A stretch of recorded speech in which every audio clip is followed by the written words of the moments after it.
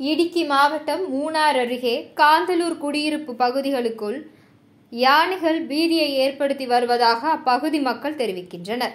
வாகனங்கள் மீதும் வீடுகள் மீதும் தாக்குதல் நடப்பது வாடிக்கையாக வருகிறது. யானை பகலில் காந்தலூர் பஞ்சாயத்து சந்திப்புக்கு வந்தது. சாலையில் பீதியடைந்த யானை விளம்பர பலகையை தாக்கி பஞ்சாயத்து முன்பு நின்றிருந்த மக்களை நோக்கி பாய்ந்தது. அப்பகுதியைச் சேர்ந்த மதியழகன் என்பவரது வீட்டின் முன் நிறுத்தி வைக்கப்பட்டிருந்த ஆட்டோ மீது தாக்குதல் நடத்திய யானை அருகிலுள்ள மற்றொரு வீட்டை தாக்க முயன்றது. சில வாரங்களாக மோஜோ யானைகள் மக்கள் வசிக்கும் பகுதிகளுக்குள் அடிக்கடி இறங்குகின்றன. இருசக்கர வாகன ஓட்டிகள் தாக்கப்படுகின்றன. விரிவான சாகுபடியும் சேதத்தை ஏற்படுத்துகிறது. தொடர்ந்து குடியிருப்பு பகுதிக்குள் ஆக்ரோஷமாக யானைகள் வந்தாலும் அவற்றை வனப்பகுதிக்குள் விரட்ட நடவடிக்கை எடுக்கவில்லை என கூறப்படுகிறது. മതിയേകൻ എന്റെ പേര് മതിയേകന എന്റെ വീട് കാന്തല്ലൂർ ഗ്രാമത്തിലാണ് മുകളിൽ നമ്മുടെ കാന്തല്ലൂർ ഗ്രാമത്തിൽ ഗ്രാമത്തിലൂടെ വണ്ടി ഓട്ടോ നിർത്തി വെച്ച സ്ഥലത്ത് വന്ന് ആന വന്ന് ആൾക്കാരെ വന്ന് പേടിപ്പിച്ച് ആന വന്ന് ഓട്ടനെ ഇടിച്ച് ഇവിടെ നിന്ന് ഒരു ഒരു മീറ്റർ ഇങ്ങനെ ഉന്തിക്കൊണ്ട് പോയി. പടുതയും പിന്നെ ഈ സൈഡ് ഭാഗം എനിക്ക് പോയിട്ടുണ്ട്.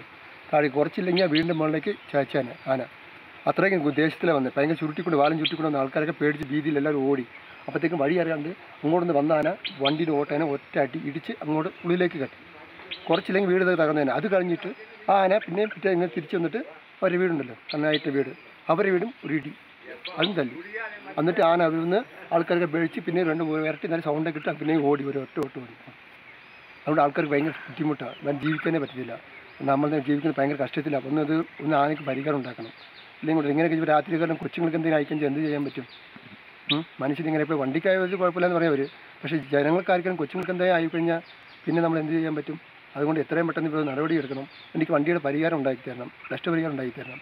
അത് വണ്ടി ഇവിടെ വർക്ക്ഷോപ്പിലിട്ടുണ്ട് അവിടെ വർക്ക്ഷോപ്പുകാർ പറഞ്ഞിട്ടുണ്ട് വയ്യാരോ വരും പറഞ്ഞിട്ടുണ്ട്. അത് എഴുതി കൊടുക്കാൻ പറഞ്ഞിട്ടുണ്ട്. എഴുതി കൊടുക്കുമ്പോൾ എനിക്ക് വല്ലുള്ള പൈസ നഷ്ടപരിഹാരം എനിക്ക് തരണം. ഇപ്പോൾ രണ്ട് ദിവസം ഓട്ടോ കാശ് പോയി. സ്കൂൾ ട്രിപ്പ് ഉണ്ടായിരുന്നു. അതും ഇപ്പോൾ എടുക്കാൻ പറ്റേണ്ട അവസ്ഥയായി. പിന്നെ ഓട്ടോ ഓടിക്കാനും രണ്ട് ദിവസം അതിന്റെ മെനക്കടായി പോയി. ഇത് രണ്ട് ലീവ് അവധി എന്നാ ചെയ്യാൻ